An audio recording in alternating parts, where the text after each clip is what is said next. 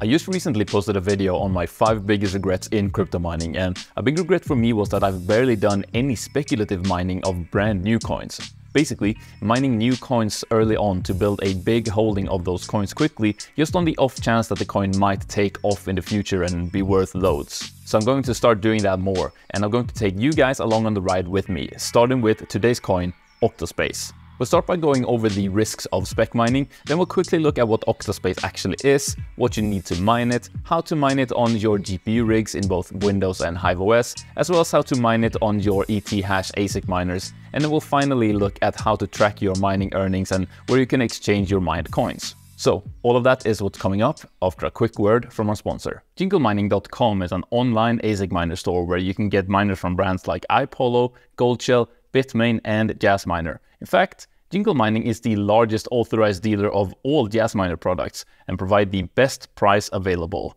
This includes for the new and super efficient Jasminer X16Q, which is now available for pre-order. This Ethash and Etchash miner is incredibly powerful and power efficient, coming in at 1845 mega hash at only 630 watts. It is also really silent and the low power consumption makes it suitable even for at-home miners with high power prices. It also has an impressive 8 gigabytes of memory and is the first Jasminer that can dual mine Zilliqa. So get yours today at jinglemining.com and use the coupon code SEB to get a 1% discount on your entire order. So as I already mentioned, while Octaspace is listed on some exchanges and you can swap or sell your mined coins to cash in your earnings, the way I will present Octaspace mining in this video is as speculative mining. And people have different definitions of what makes something speculative mining, but the definition I'm going with here is mining a coin very early on in its lifespan with the hopes that the coin price might increase drastically in the future. The reason for doing this is that mining a coin very early on usually means you can build a very big bag of the coin really fast without very much hash rate, as not very many other people will be mining the coin yet, which means that you do get a much bigger portion of the earnings for yourself. But of course, when doing this, there are also risks involved. The first and most obvious one is that the coin might not increase in price at all.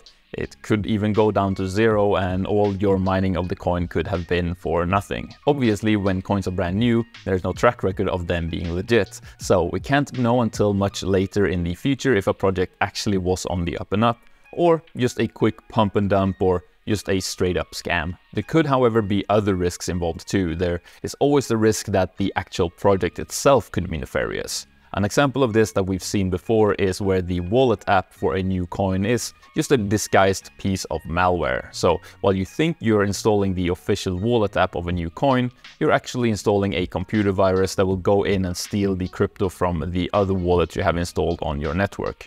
So Always take extra care if you need to install an app that you cannot say for 100% sure that you trust. And also I want to point out that I'm not saying that any of this necessarily is the case for Octaspace. They are just general risks to look out for when mining brand new coins. Alright, so what exactly is Octaspace? Well, as most new cryptocurrencies we see pop up nowadays, it's not just a cryptocurrency. Rather, it's trying to be a whole ecosystem of different applications and services all under one umbrella name. In short, Octaspace is building a decentralized platform where you can either buy or sell compute power, data storage and serving, virtual private networks, and so on. And then on the side of that, it also has a coin token on a blockchain that is partially proof of work, and it is this token that is used to pay for the services that are offered on the platform. Or, in other words, Octaspace is aspiring to be this platform where you can either buy different types of compute services like CGI rendering, machine learning, scientific modeling, virtual private networks, data storage, etc or you can offer to sell all of those same services and get paid for it. And all of those transactions are handled with their native coin token. So while there is also plenty of possibilities to earn money with Octaspace by offering the services on their platform, what we're going to be taking a look at in this video is just earning the coins by mining their blockchain. So what do we need to mine Octaspace? Well, the Octaspace blockchain uses the ET hash algorithm, which is an algorithm that can be mined both by GPUs or with dedicated ASIC ASIC miners like the Jasminers or iPollo miners. So you'd need either a computer with a GPU or full GPU mining rig or an ETH ASIC miner. On top of that, we also need an Octaspace wallet, a mining pool, and if we're going to be mining with GPUs, a mining software. Starting with the wallet, Octaspace has a dedicated page on their website listing all of the available wallets and how to set them up. Your best option here is probably going to be MetaMask, as that is an already established wallet used for loads of different coin tokens, and it has been around for a good while. Another option if you're planning on mining just to immediately sell or exchange your coins would be to mine directly to an exchange wallet.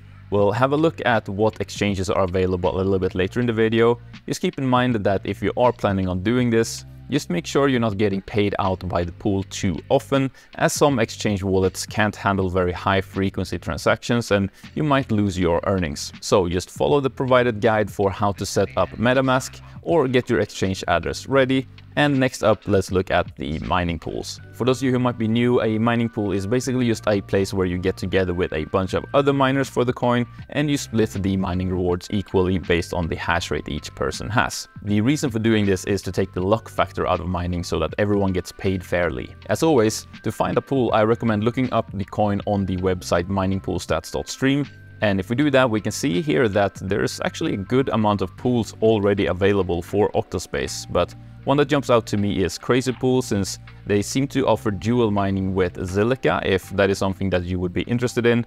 Plus it's a pool that I've used before so I am familiar with it. So if you just click on Crazy Pool here and then go to how to start, we now have everything we need to get started on mining. Alright, let's put all of those parts together and start mining. So, what's nice about Octaspace is that since it uses the ETHash algorithm, which is the same mining algorithm as Ethereum used, you can basically use any mining software that could mine Ethereum, just copy the Ethereum mining template and replace the wallet and pool with your Octaspace wallet and pool, and you should be good to go. So, for Windows, we're just going to download the latest version of lolminer from their official GitHub page. Keep in mind you might also need to make an exception for the folder you are downloading the software to in Windows Defender and any potential antivirus software you might have. This is because very often mining software is falsely flagged as malware, but of course you know, you're doing all of that at your own risk. Then extract that lolminer zip file, edit the mine underscore eth bat file, and just replace the wallet address with your Octaspace wallet address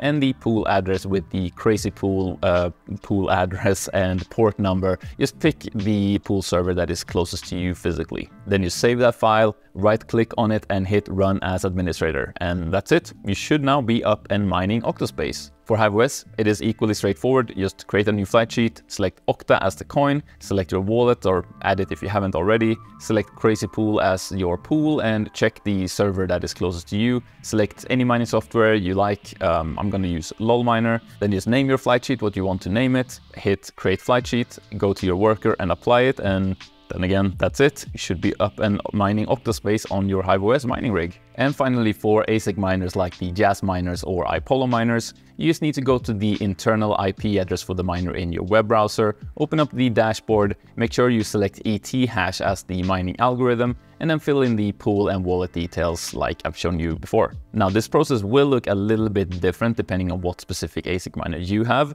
but if you're unsure, you can just look up any video tutorial about your miner and I'm sure it will show you a step-by-step -step guide on how to set it up to mine. Alright, let's quickly talk about overclocking your GPU rigs for this coin as it's pretty easy. Since it uses the same algorithm as Ethereum, you could more or less, again, just look up any tutorial for how to overclock your specific GPU for Ethereum mining, and the numbers should be the same for Octaspace.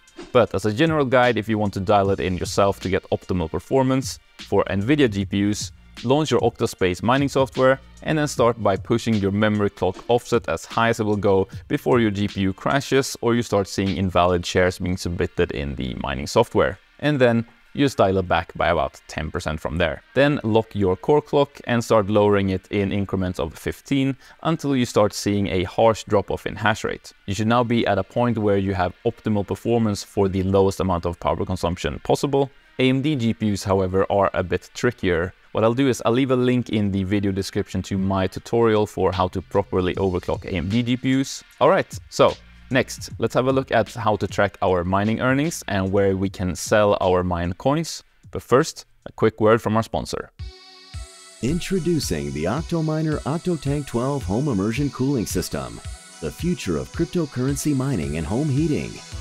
Quiet, cool, and efficient The OctoTank 12 allows you to overclock your ASIC miners up to 70% to get more performance for your money.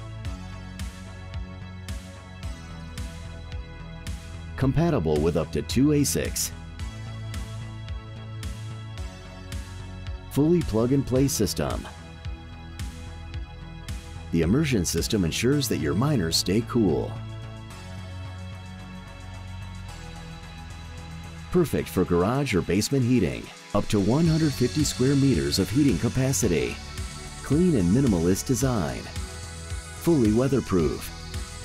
Designed to last for years. Save money while keeping your home warm and cozy this winter. Order yours now.